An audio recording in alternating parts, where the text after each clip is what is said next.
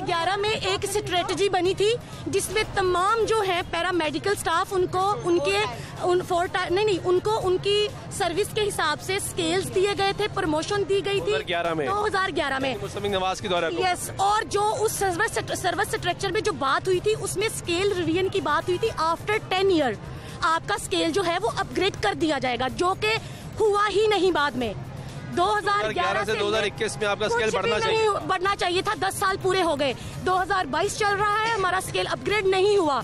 अब new notification DG साहब ने जारी कर दिया है कि जितनी भी अपग्रेडेशन हुई थी 2011 में इनको वापस लिया जाए इनको रिकवरी डाली जाए। अभी रुक जाए यहाँ पे। इस पे तो आएँगे ना कि वापस कैसे होगी? पहले जरा ये समझाइए हुई कैसे थी? आपने कहा कि 2011 में हुकूमत ने ये फैसला किया था की आप आपके स्केल्स बढ़ाए जाएँगे। हाँ जी। उस वक्त फार्मूला 2011 से पहले आप कि- किस स्केल पे काम करेंगे हम नौवे में अपॉइंट होती थी। नौवे में और हमारी जितनी भी सीनियर्स एल थी वो नौवे में ही रिटायर्ड होती थी। नौवे में। स्केल नहीं बढ़ता था। नहीं। ना तनख्वाह बढ़ती थी ना नहीं। आपकी मराद बढ़ती थी। नहीं इंक्रीमेंट लगती थी।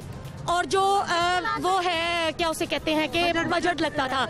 इसके अलावा हम लोग हाई रिस्क पे होते हैं। जब हम डिलीवरी करते हैं, कोई पेशेंट हेपाटाइटिस सी की है, कोई बी की है, किसी को एड्स है, हम लोग उसकी बेसलाइन इन्वेस्टिगेशन करवाते हैं। हमें पता होता है, फिर भी हम लोग वो करते हैं। हम जब डिलीवरीज करते हैं ना सेंटर्स पे, ठीक है? ये लड़की मेरे सेंटर की है, मेरे साथ।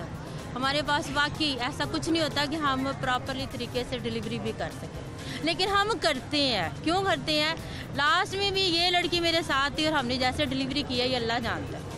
हमारे पास कोई चीज़ नहीं थी। हमें तकलीफ़ नहीं होने देते हम किसी हम तरह भी। बगैर ग्लव्स के हमने डिलीवरियाँ भी की हैं। ठीक है? लेकिन हम करते हैं क्यों करते हैं? हमारी ड्यूटी है।